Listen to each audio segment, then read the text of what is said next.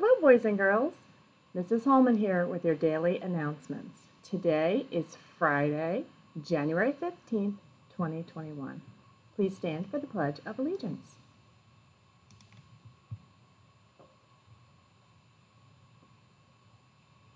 I pledge allegiance to the flag of the United States of America and to the republic for which it stands, one nation, under God, indivisible, with liberty and justice for all. You may be seated. Looks like the weather is going to be sunny and warm, perfect for a Friday. We've had a very nice week of weather. Today's lunch choice is going to be chicken nuggets or ham and cheese. And if you're planning for Monday morning, our breakfast will be bagels. We have quite a few birthdays to talk about today, friends. We have some birthdays today and some birthdays on Monday. Happy sixth birthday to the following kindergarten students. Dylan Dukes in Mrs. Stevenson's class, Aiden Elliott in Mrs. Weldon's class, and Delance Handy in Miss Orwashell's class. On Monday, we celebrate Jennifer Sierras Morales, also in Miss Stevenson's class, and a preschool student, Shanley Charles, in Miss Rain's class. We hope you have a great birthday weekend, friends. Our read aloud today is Mr. Long singing Fall is sorry, not singing, reading Fall is for Friends. And before we do that, we are going to recite our school rules. Please repeat after me. I promise to A. Act safely. B. Be a friend. C. Choose manners. And D do my best. Have a great day of learning, boys and girls, and have a great weekend. Good morning, boys and girls. Mr. Long with another read aloud. Fall is for Friends by Suzy Spafford.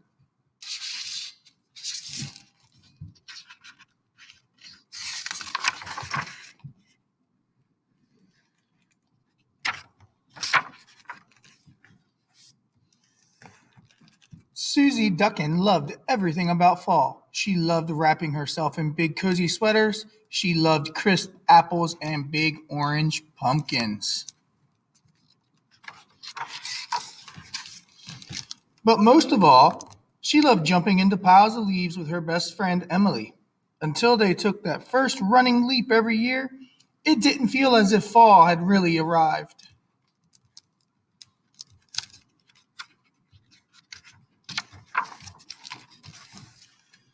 When there are leaves going to fall, Susie wondered. Maybe they just need a little help, declared Emily.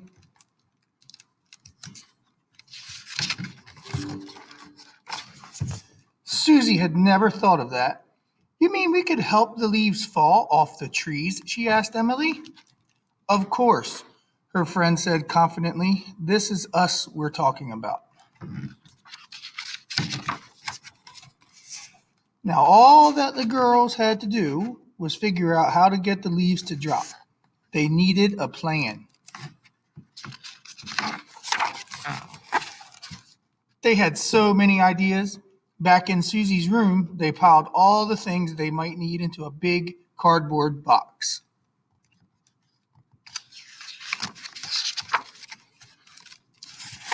First, Susie and Emily tried leading a cheer to make the leaves want to fall from the trees. Fall leaves fall, that's what we say. Hit the ground so we can play.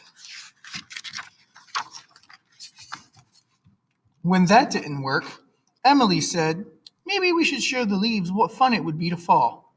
So the friends set to work, cutting leaf shapes out of construction paper and taping them all over each other. Let's show them how it's done, Emily said.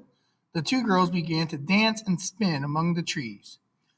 Oh, how I love to ride a gentle breeze and fall softly to the ground, Emily said in a dreamy voice. Emily quickly became so dizzy that she actually did fall, but it wasn't softly.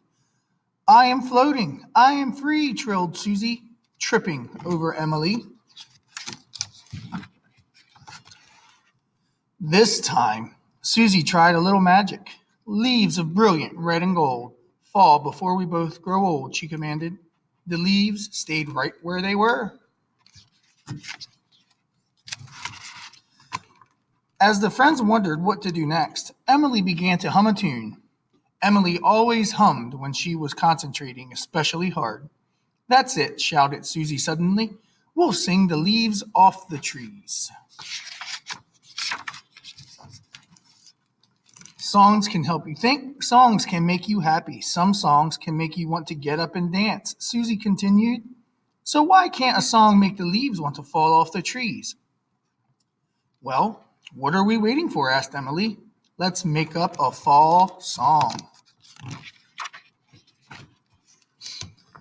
A little while later, the girls joined hands, took deep breaths, and sang, Blow, breeze, blow the leaves gently to the ground.